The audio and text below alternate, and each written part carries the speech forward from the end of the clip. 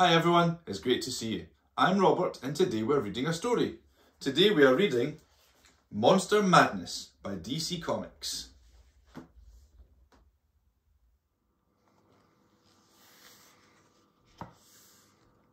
Monster Madness The city of Metropolis threw a big costume party on Halloween night to thank the Super Friends for all the times they had saved the city.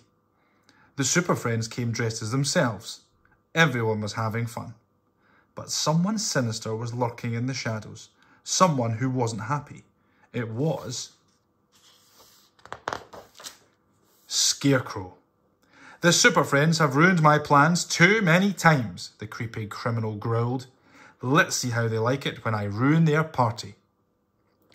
Scarecrow leapt into the middle of the crowd.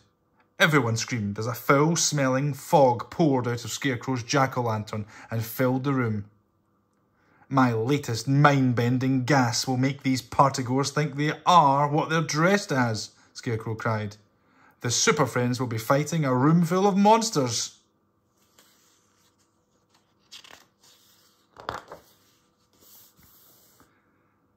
Get them, Scarecrow snarled.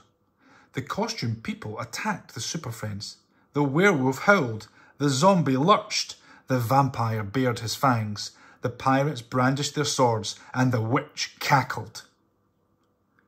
Be careful, Batman warned the Super Friends.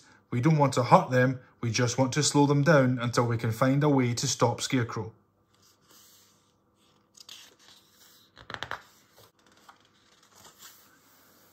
The vampire hissed as he tried to bite Batman's neck, but Batman was too fast for him. You should try the punch if you're that thirsty, Batman said. He used his bat rope to lasso the vampire. Across the room, the werewolf was chasing Green Lantern. I know just what to do with a bad dog like you, Green Lantern said, scooping the growling werewolf into the giant green dog catcher's net he'd made with his power ring.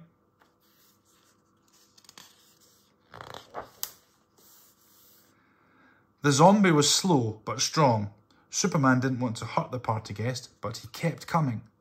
It's time to get this ghoul tucked in for the night, Superman said, using his heat vision to cut some ghost decorations loose from the ceiling. The ghosts fluttered down and the zombie became hopelessly entangled in the sheets and ropes. Cyborg and Aquaman were busy with their own fight. The pirates and the witch might have only been party guests, but their swords and broom were real enough. Ouch.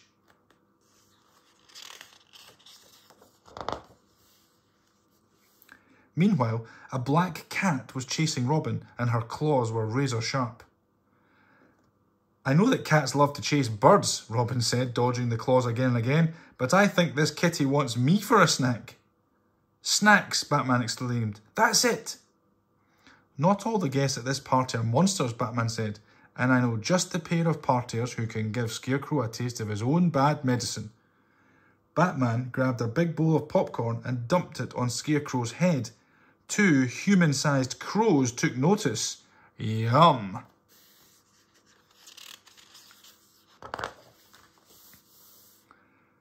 What do you think you're doing, Batbrain? Scarecrow yelled.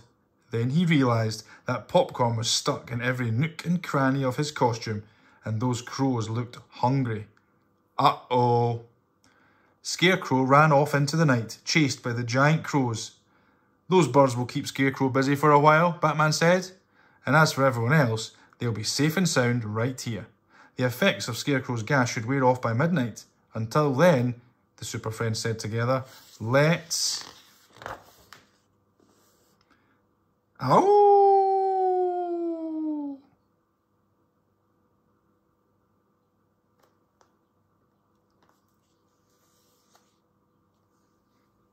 The end.